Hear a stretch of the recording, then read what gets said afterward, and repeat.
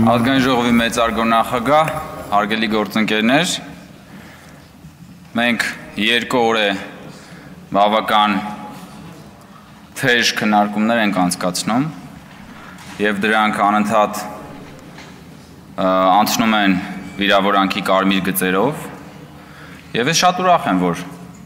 պարոն Օհանյանը խոսեց եւ ես հնարավորություն ունեմ պարոն Օհանյանի ելույթից հետո խոսել տեսեք Ձեր գործընկերը պարոն Խաչատրյանը ասում էր ինչի շուրջ մենք լինենք կառուցողական, ինչ պետք է միասին մենք կառուցենք եւ զարմանք էր հայտնում իմ գործընկերների առաջարկին։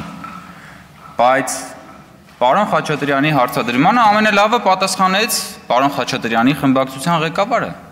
Նա ասաց իր խոսքի սկզբում, որ իրենց ընտրողները իրենց այստեղ պատվիրակել են օրենսդրական գործունեության համար, տվել են մանդատ դրա համար։ Ճիշտ է։ Դա նշանակում է, պարոն Խաչատրյան, որ մենք միասին պիտի կառուցենք օրենքներ։ Մենք պիտի ստեղծենք միասին օրենքներ։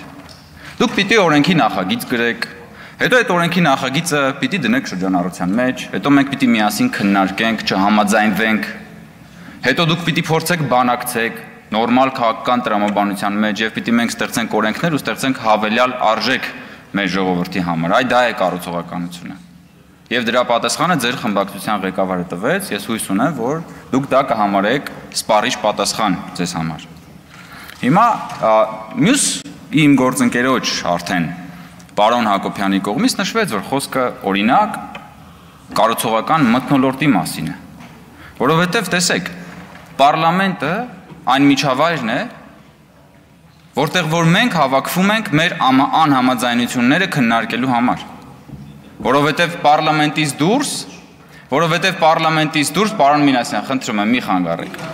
Մի մի մի խնդրում եմ, մի եթե մնաք, ես կխոսեմ եւ դուք կլսեք։ Բայց պարոն Մինասյանի հետ մենք առիթ ենք ունեցել տարբեր պայմաններում նաեւ բանավիճելու եւ պարոն Մինասյանը միշտ խոսում է, որ ինքը երկարատև քաղաքական փորձառություն ունի, բայց ցավոք սրտի քաղաքական հաղորդակցության ամենապարզ կանոնները միշտ խախտում է չի կարողանում լսել։ Հարգելի գործընկերներ, տեսեք, մենք շատ լավ հասկանում ենք, որ դուք որպես ընդդիմադիր խմբակցություն ունենալու եք սուր ելույթներ, եւ մենք պատրաստ ենք դրանք լսելու։ Ես երկու օր է անվրդով նստած լսում եմ ձեր բոլորի ելույթները եւ հարցերը։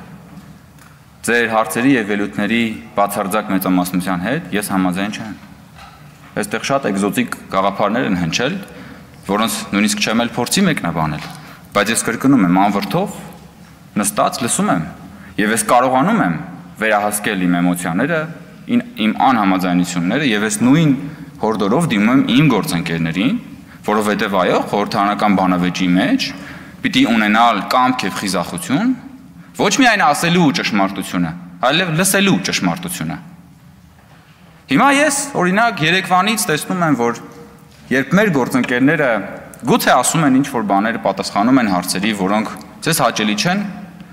Ես շատ հաճախ եմ լսում, երբ որ եւ տեսնում, որ Հայաստան խմբակցության կամ պատիվ ունեմ խմբակցության падգամավորները տեղից ռեպլիկներ են անում, կանգնում են եւ առանց օրինակ վարման կարգի կամ կանոնակարգով սահմանված կարգի փորձում են միջամտել ելույթներին։ Հետո դուք Եթե ձեզ հետ խոսենք, դուք կհամարեք, որ դու շատ որ դուք շատ փորձառու քաղաքական գործիչներ եք, իսկ մենք երիտասարդներ, բայց փորձառության ամենա մեծ քննությունը տիկնայք եւ պարոնայք։ Հենց մեր պահվածքն է այս այս այս դահլիճում։ Եթե դուք պատրաստ չեք լսելու ձեր մասին ճշմարտությունները, եթե դուք պատրաստ չեք լսելու փոխադարձ սուր քննադատությունները, այդ դեպքում ինչ իմաստ ունի խոսել քաղաքական փորձառության մասին։ Հետո ես նաև զգում եմ որոշակի ագրեսիվություն, ագրեսիվ մտնոլորտ, ուղված քաղաքացիական պայմանագիր խմբակցության ներկայացուցիչների նկատմամբ դա ոչ միտեղ չի տանում։ Դա ոչ մի խնդիր չի լուծելու, հարգելի գործընկերներ։ Նախորդ գումարման խորհրդանում հենց ձեր տեղերում նստած էլի մարդիկ կային, որոնք ճղային տեսքով մեզ ելույթների ժամանակ փորձում էին սաստել, ասում էին մենք փորձառու ենք, դուք երիտասարդներ չհամարցակվեք։ Հիմա այդ մարդիկ այստեղ չեն։ Ես խնդրում եմ, եկեք սովորենք ուրիշների սխալի վրա, հակառակ դեպքում ստիպված ենք լինելու սովորել սեփական սխալների վրա։ Ես այո, համաձայն եմ, որ մենք պիտի շարունակենք նորմալ աշխատանքային պայմաններում Թեկուզ եւ սուր քաղաքական բանավեճեր ունենանք միասին եւ պատրաստ լինենք լսելու ճշմարտությունը։ Բայց երբեմն տեղից ռեպլիկները տպավորություն են ստեղծում, որ մենք ոչ թե քաղաքական ամբիոնի մոտ ենք կամ պարլամենտում, այլ պատերազմի դաշտում։ Պարոն Օհանյան, քաղաքականությունը պատերազմ չէ։ Եվ մենք այստեղ իրար վրա փամփուշտներով չենք կրակում։ Մենք այստեղ իրար հետ հաղորդակցվում ենք խոսքով Գուցե կարելի է որևէ պատկերավոր օրինակում խոսքը համարել փամփուշտ, բայց նաև խոսքի հետ պիտի շահած զգուշ լինել։ Եվ բոլոր այն գործընկերները, որոնց մի մասն էստեղ է, մյուս մասն էստեղ չէ,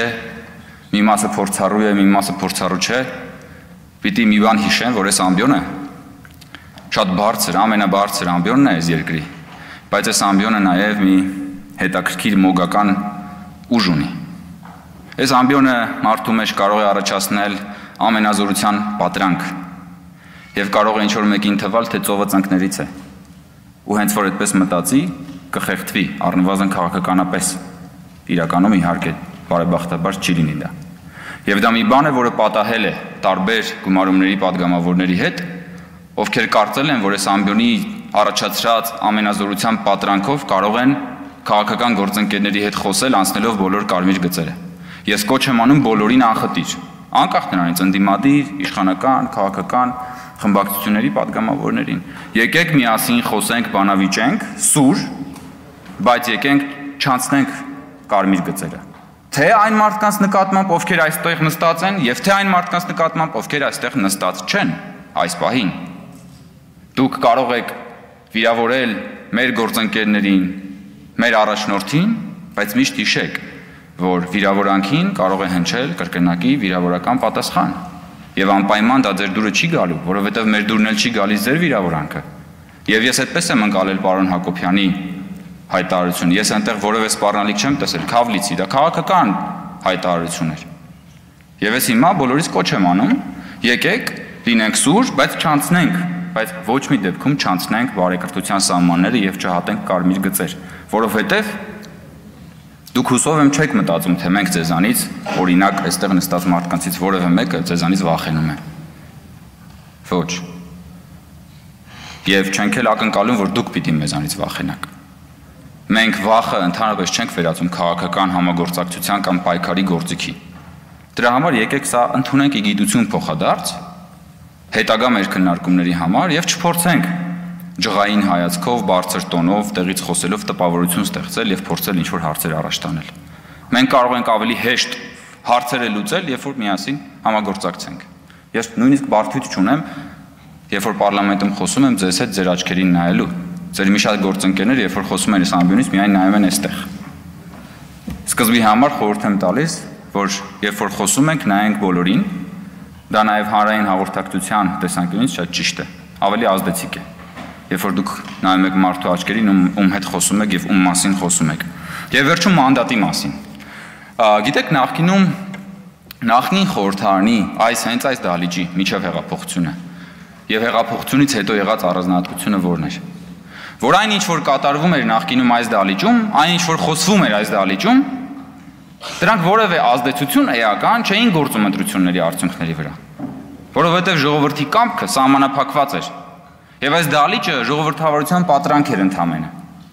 2018 թվականից հետո այն ինչ որ խոսվում է այս դալիճում ուղղակիորեն ազդելու է